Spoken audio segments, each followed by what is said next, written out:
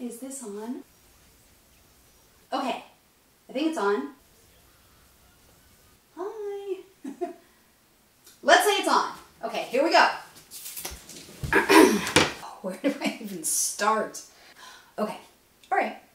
It's three o'clock in the afternoon on Wednesday. What I call the needy hour. That fragile time between school pickup and dinner. Dora has once again refused to take a nap. So any attempt I might have made at cooking or cleaning or whatever has been completely quashed. This past week, she's developed a preternatural ability to survive without sleep, both day and night, and we're both completely exhausted. In fact, I am feeling as sleep deprived as I did when she was a newborn, and instead of taking my morning vitamin, I swallowed a vaginal suppository. And I think I'm getting sick. And tomorrow just happens to be my birthday, but I ignore this massive headache and the tightness in my chest. And I buckle Dora into her car seat for the short drive to pick up her brother at school. And of course, as soon as I back out of the driveway, she falls asleep. Okay, so now it's 3.15 and true to form, my nine-year-old son refuses to leave the premises of his school. George, honey, you can't play baseball right now, remember? It's Wednesday. He screams at me in front of all of the other nice parents. No, Mom, I can't believe you're doing this. Why? It's the most important game of my life. You're ruining it. So apparently I am ruining both the game and his life. Even though it's now spring and the school year is almost over, it would seem in George's mind each day happens afresh without any recollection of all of the rules and routines and schedules and requirements of all of the previous days so that the memory, say that on Wednesdays, mom picks me up from school and we go grocery shopping, has absolutely no relevance for him. Oh God, and we really, really, really do need to go grocery shopping because this is what's in my cupboard. A bag of stale cranberries, a package of whole wheat spaghetti, a very old box of falafel mix, and some grain that I bought in bulk several years ago and have no idea how to cook it, or even what it is. It looks like couscous, but it is not, I assure you. As I hustle George into the car, his tirade continues, so of course he wakes Dora up. Okay, so now it's like 3.30 and we've arrived in the vicinity of the grocery store triangle. That is Hannaford, Wild Oats, and Whole Grocer. And I'm once again thrown into my weekly dilemma. To which of these establishments in the grocery store triangle should I give up our scant and hard-earned clams? That deep dark ache in my head has now rooted behind my eyes, and from it, a decision tree begins to sprout above my head, and it looks something like this. If I go to Hannaford, it's the least expensive. And they have those red plastic shopping carts that look like sports cars for the kids. But George will throw a fit in the candy aisle and, well, frankly, he smashes into other shoppers. If I go to Wild Oats, it's so flippin' expensive, I'll blow my whole wad there. But they do have the deli and the kids are definitely getting hungry, but oh God, no, no, no. Because if they don't have the chicken wings, then Dora will scream bloody murder again. If I go to Whole Grocer, it's nice and small and not so overwhelming. And oh, yes, they have those mango raspberry popsicles that have saved me before. The kids backseat bickering about snacks, George wanting chocolate, Dora being allergic to it, crescendos into all out yelling when Dora screams, George, you dumb boy! Mama, George is hurting my feelings! And, you know, I shut it down. I shut it down with grace and maturity by shrieking, knock it off the both of you, knock it off right now or you will get nothing and like it!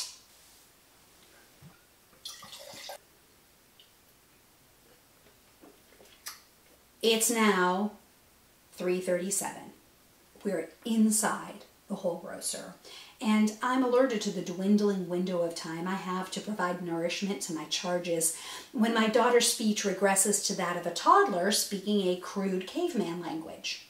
She sits on her perch uh, on, in the shopping cart, banging her fists, chanting, Me, hungry, me want tweet, me, hungry, me want, and George catches a free ride hanging off the side so that if I take a hand off the shopping cart to, for example, reach for a food item, I will upset this delicate but crazy symbiotic balance here, and the cart will flip over and my daughter will crack her head open. So, I cut my losses, hightail it over to the frozen food section, where I grab a couple of those mango raspberry popsicles from the frosty chamber. I rip the wrappers off like a crack addict trembling for a hit, pass them to the kids, and then... Oh, yes. Sweet silence. I calculate that I now have approximately seven minutes max in which to round up the ingredients I'll need to provide a tasty but nourishing meal that evening. I grab a jar of organic marinara to go with the Hoyt spaghetti at home and some of those greens in a bag, aka salad. It is now 342. We're at the register and the pierced and tattooed cashier takes a disapproving gander at my kids who are greedily licking the mango raspberry popsicle juice off the popsicle sticks before they pass me the sticky wrappers for scanning. Then they rush the cart corral, climb the gate, hang upside down, and start howling like monkeys. And I just know that this cashier is judging me and my food choices and my wild offspring, and I am suddenly overcome with the urge to drop to my knees and beg for mercy. Please. I am a fragile and vulnerable human being. Please take pity on me. But instead, after four failed attempts to remember my PIN, I write a check for the groceries, roughly equivalent to my hubby's weekly salary, balance the bags of food, waltz the kids out the door, and just as I am buckling Dora's car seat again, an alarm goes off in my head. It's actually just my phone. Hello? Hey, hon! How's it going? It's my hubby sounding calm. I'm, I'm just leaving the store and I have a splitting headache and I can barely breathe and I think I might be running a fever. How are you? Oh, that's too bad, hon. You know, because I'm doing, I'm doing fine. You know, actually, I'm doing great. This conference today was really inspiring. I went to a session on organizing space. You see, this is how people sound after they've been sitting on their butts for eight hours listening to some expert who gets paid big bucks telling other people how to manage their environments. So I know you said no gifts for your birthday this year, but I'm thinking we should hire this woman to come to the house, you know, and help us get everything organized, get everything cleaned up and uncluttered. I tried to let his groovy vibes wash over me, but it's too late. I can feel the snakes starting to emerge from my head. Help us get everything fucking cleaned up?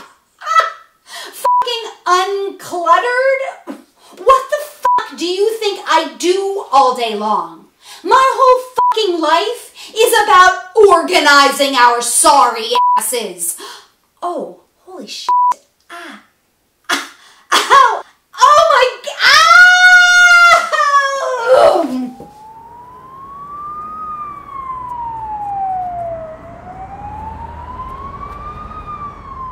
Yeah, so uh, that happened. Passed out right in the grocery store parking lot. You know, I try to talk to my mom about this stuff, and every single time she just says, Well, you're the one who chose to stay home with them. But this time, she said, You know, maybe you should go back to making some of those angsty comics like you used to when you were a teenager. Or, you know, why don't you just get some friends you can vent to? God, I hate it when she's right. So, hi. Any other Hausfraus out there? Thank you.